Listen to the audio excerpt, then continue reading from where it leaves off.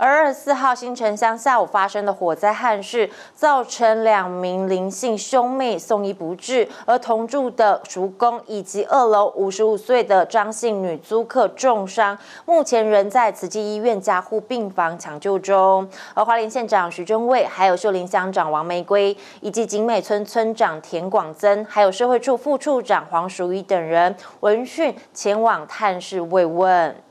现在许尊二十五号上午亲自到访，致上慰问金与最深切的关怀。同为母亲的县长许正伟特别能够感受到失去挚爱孩童的痛楚。他除了给予受难家属最温暖的拥抱，也期盼家属能够尽早走出伤痛。欢县政府每户受灾户家庭发放一万元专案慰问金，对中上者提供两万元慰问金，对罹难者家属则是发放三万元的慰问金。此外，县府将根据新的乡公所承包的灾情，审核补助安全救助金，每户最高核发五口，每口两万元。县政府社会处表示，已经指派社工前往医院协助，后续将协助灾民安置住宿，提供餐食以及保暖衣物，期盼在各方的努力之下，协助受灾户早日恢复正常生活。